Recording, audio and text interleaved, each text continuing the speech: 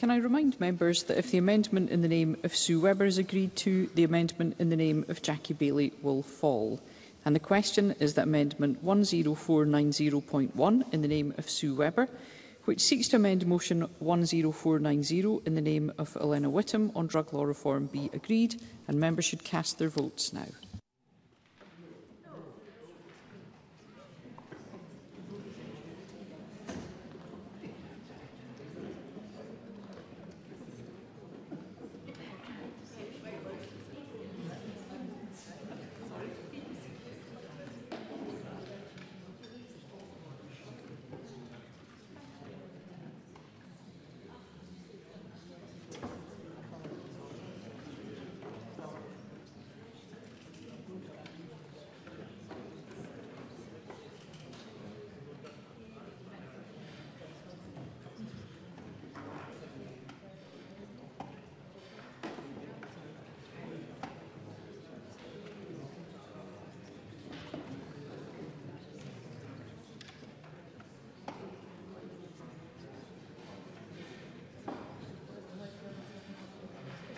The vote is closed. Point of order, Paul O'Kane. Uh, thank you, Presiding Officer. My app wouldn't connect. I would have abstained. Thank you. We'll ensure that's recorded, Mr O'Kane.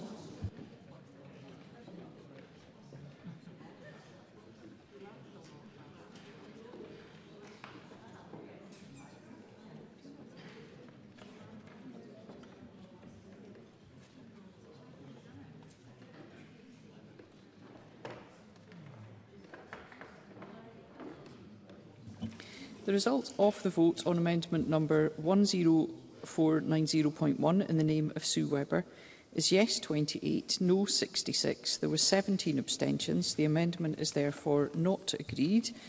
And the next question is that amendment 10490.3 in the name of Jackie Bailey, which seeks to amend motion 10490 in the name of Elena Whittam on drug law reform be agreed. Are we all agreed? No. The Parliament is not agreed, therefore we'll move to a vote and members should cast their votes now.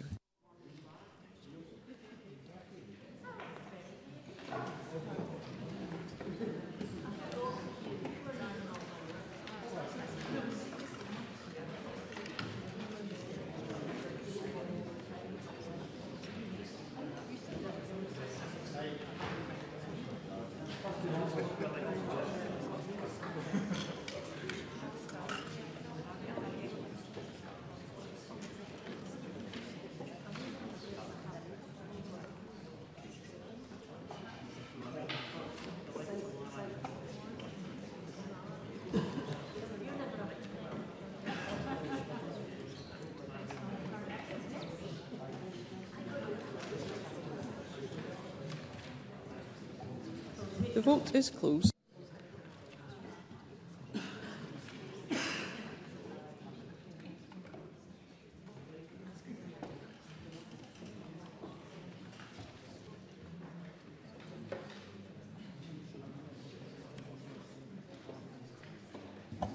The result of the vote on amendment number 10490.3 in the name of Jackie Bailey is yes 21, no 90, There were no abstentions. The amendment is therefore not agreed. And the final question is that motion 10490 in the name of Elena Whittam on drug law reform be agreed. Are we all agreed? Yes. The Parliament is not agreed, therefore we'll move to a vote and members should cast their votes now.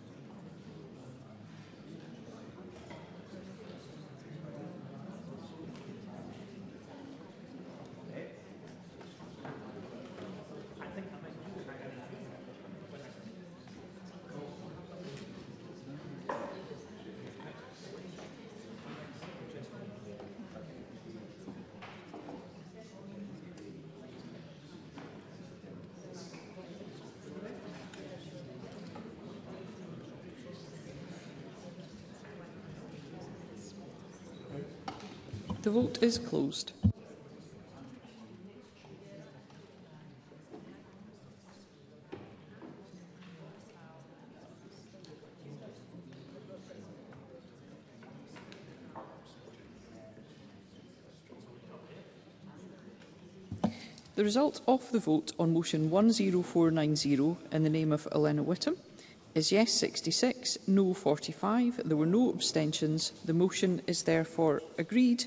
And that concludes decision time and we'll now move on to members' business in the name of Willie Rennie.